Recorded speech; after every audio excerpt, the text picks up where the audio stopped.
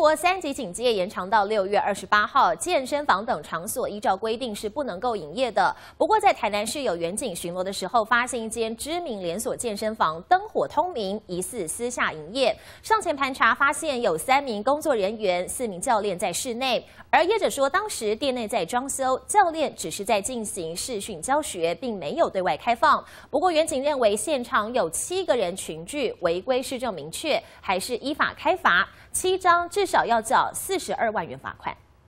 远警巡逻发现一间健身房店门没关，一二楼灯火通明，马上上前盘查。我我点一下人数，一二三，我这样这样这样七个字。仔细数一数，现场有三名工作人员，还有四名健身教练，一共七个人，已经违反室内五人以上规定。远警一个一个登记资料，依法开单。配合中央防疫，在停业期间不开放会员进场，也没有对外营业。业者表示，当时只是在进行室内装修，才会安排员工在现场协助装修师傅。至于教练，则是回到店里进行视讯教学。虽然在场的人都有戴好口罩，保持适当安全距离，但远警认为教练进行视讯教学已经涉嫌私下营业，将会请卫生局进行裁罚。据现场的工作人员表示啊，他们是公司啊指派他们来这边处理公务，将相关的资料来函转。